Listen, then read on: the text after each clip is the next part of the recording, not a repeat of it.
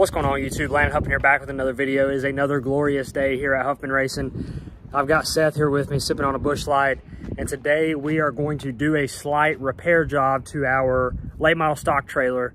Our crow's nest, we, we may have had a few people almost fall through the roof our first uh, outing with our trailer at Hickory. So today we're gonna repair our little crow's nest deal on top of the trailer.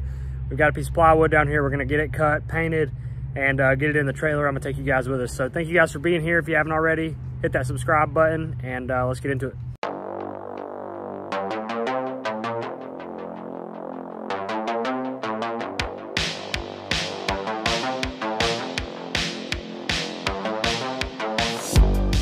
So here's our uh, glorious high-tech fancy 24 footer. But uh, this is what we're working with currently on our crow's nest or our viewing tower. It's been a hot minute. Uh, my boys got up here opening night, put one foot on it and almost fell through the roof. So we've got to do a little maintenance. These need to be painted, but right now I'm just more worried about this wood piece. I gotta get these screws out all the way through, get this hunk of shit out, and then go cut and paint our other board and get it replaced.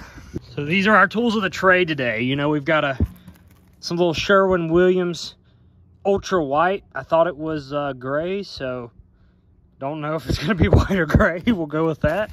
Uh, we got a roller, all that good stuff, and an old Goodies dash tire. And we're about to set our piece of plywood right here. And uh, it's already cut, by the way. So we're gonna get our piece of plywood set down right here and uh, get to painting. Can we flip it over for side so we paint? Uh, Seth, is this board capable of, uh, what are you doing? Then B. Is the board capable of holding seven grizzly men? Yeah, I think so. I think it'll do the job. Okay. please tell, please tell him what just happened. Shit myself. Why? I smelled something dead. okay, we went into the paint room, which is like not occupied at the moment. There's also no lights. So we're walking around with this shining light and uh, we'll just show you. Come on, we'll show you what's in So if you've been watching my channel for a minute, you know that the paint room is currently a storage bin. And in here, we smelled something dead. God. And look at laying right here on this counter. I don't know if this some bitch is dead or not. Yes, that is a black snake. And I do not like snakes. And I, that, yeah. It looks like he got stuck in that sticky shit. I think that's probably what happened. Yeah, he got stuck there and died. Well, currently we, we do not have a uh, paint tray. We've got this cookie bin and Seth has a styrofoam lid. So between those two, one of them has to work. We just need something to roll the paint out in. That's it.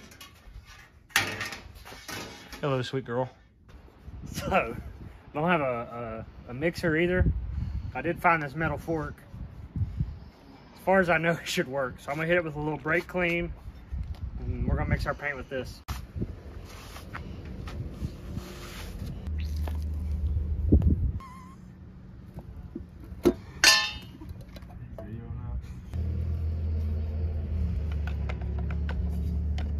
I'm not a paint expert, but that don't look white to me. No, it's getting gray. Here it comes.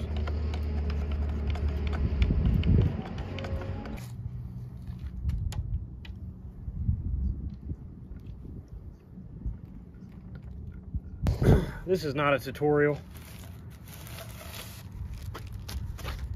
And I'll be honest, we're kind of just winging it.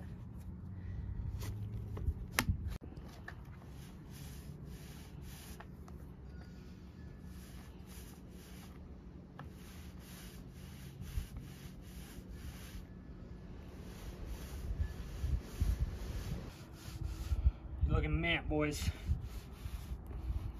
50 shades of gray. All right, so that actually came out not too shabby. So now we got to carry it to where the trailer is at and put it on the trailer. Not gonna work.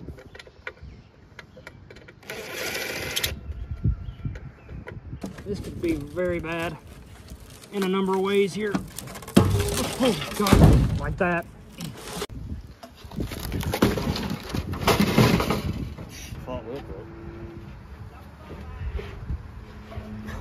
Gonna knock me off, Seth. Hold on, you smash my toes now. There, I'll get it. God, you smashed my damn toe.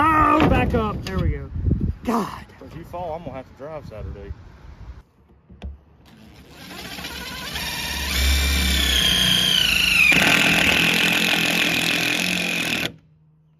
How many have my wife set on this thing? She'd be excited.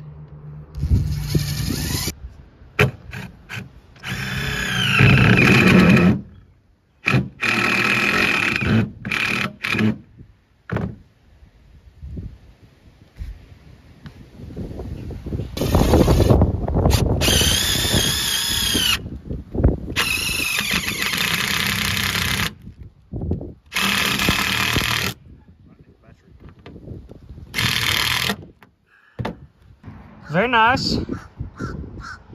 You know, it'll do. Nobody's falling through this baby. Our uh, our garden fence sides are just gonna have to rock and roll for now. I'll clean them up later this week, but this is pretty much what we were shooting for anyways.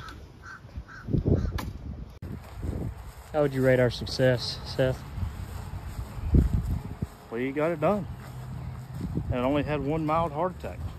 We're back at the dash shop. If you watched my last video, she kicked ass last Saturday. We're gonna try to do it again this weekend.